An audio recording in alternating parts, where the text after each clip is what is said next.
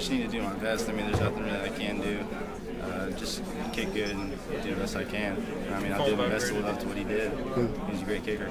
Yeah, before when the stadium was closed off, it was definitely a swirling wind, but now it's more of a consistent wind coming in from the open end. Uh, for kickers, it's going to be, for me and Teddy, it's going to be uh, kicking with wind or against the wind, like seeing what we're going to do with the ball. I mean, with the wind at our back, obviously it's our advantage, so I don't know, we'll see how it ends up during the season.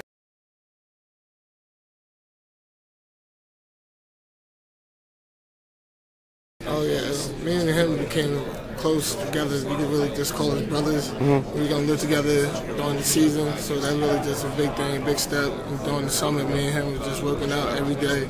It was footwork, we, in the weight room, we work together. And on the field, we, you can't tell us apart.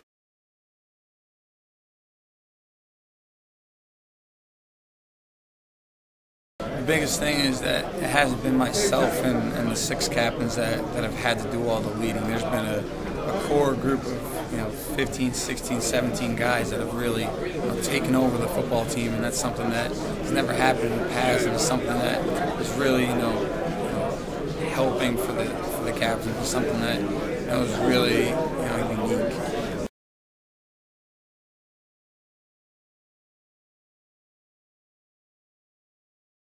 My goal is to you know, be the best quarterback that, that I can be to give my team a chance to win every football game that we play. Ah, well, I mean, I, I grew, up in uh, Central New Jersey, so I mean, this is this is kind of this is kind of my home. You know, this is this is born and bred. Uh, big big fan of the area. Um, what I'm gonna miss most though is just this whole camaraderie, being able to be with like be with a team, kind of grow with the team. I mean, it's it's funny because you know I still feel like I'm this is my first year, and I've been here for four four years now, and you know.